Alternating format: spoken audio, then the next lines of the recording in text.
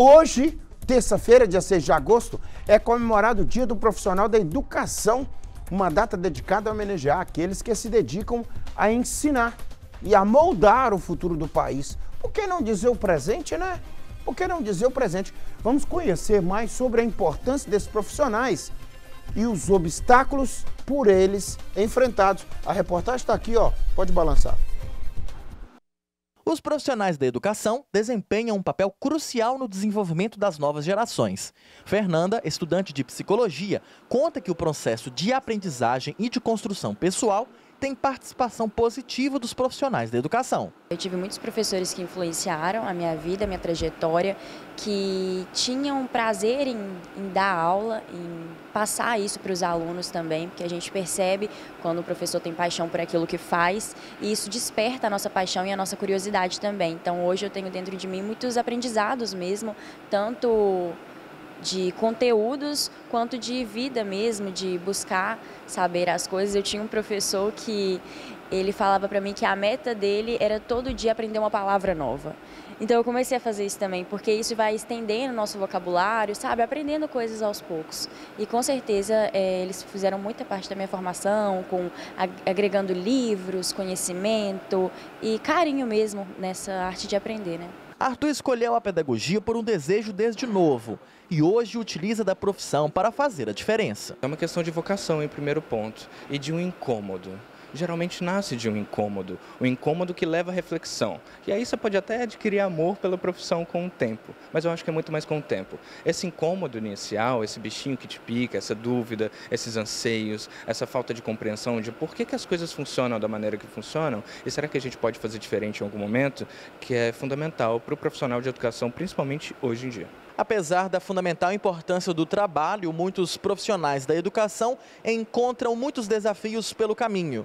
Mesmo assim, professores buscam maneiras inovadoras de mudar a realidade dos alunos. Romper com padrões já estabelecidos e compreender é, essas mudanças como significativas de uma forma coletiva mesmo, talvez seja uma das maiores dificuldades que os profissionais da educação têm hoje, além de remuneração, além de visibilidade profissional, mas assim, romper com antigos arquétipos em qualquer nível de ensino, em qualquer instituição de ensino, para propor soluções que sejam realmente diferentes e adaptadas à contemporaneidade da vida, do mundo de hoje, talvez sejam as coisas mais difíceis que a gente tem para lidar hoje enquanto profissional. O Wildman é responsável pela formação de novos professores.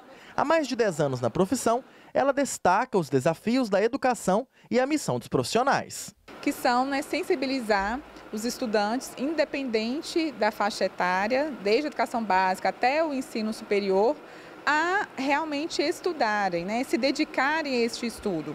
Eu sempre falo que informação ela é dada, ela está em todos os lugares. Agora, transformar esse, essa informação em conhecimento, ela precisa de um mediador. E esse mediador é o professor. E hoje, com o advento das tecnologias, nós temos muitos desafios, né? essa geração de cliques hipertextuais. Então, o professor tem esse maior desafio de trazer essa concentração e essa sensibilização para os estudantes para o momento da aula. Beatriz é psicopedagoga. Ela forma alunos que estão em ensino inicial de alfabetização.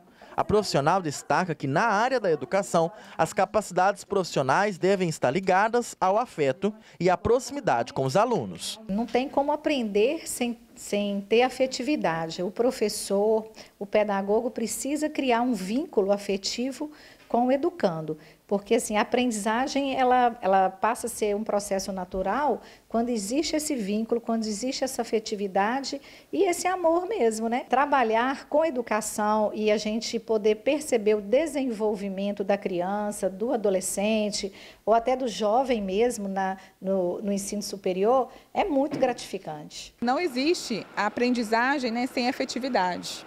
Então, para a gente né, desenvolver esse trabalho, né, é, ensino-aprendizagem, que ele é de mão dupla, precisa ter uma relação né, bacana com os estudantes. E o professor, ele é um inspirador, né? Ele é alguém que os alunos veem muita confiança e credibilidade nele ali. É um profissional que está ali todos os dias né, na sala de aula, com os estudantes. Então, é, é um, uma profissão que inspira né, as outras pessoas a serem melhores. Né? É um trabalho muito digno, né, que cabe muito esforço. O professor é um dos poucos que trabalha em casa também é, para produzir provas e aulas. Então eu acho que a gente tem que mostrar para eles, porque às vezes as pessoas perdem o brilho que elas têm dentro de si, né? Pra, de dar aula por causa das outras pessoas. Então, quando a gente mostra que a gente está interessado, eles ficam felizes em fazer aquilo que eles amam. Então, eu acho que grande parte do, do professor são os alunos, né? Não, não há professor sem sala de aula. Eu gosto de ler, brin brincar, aprender as coisas, tudo isso. Eu, eu aprendi tão bem a ler as palavras. Você gosta da professora? Sim.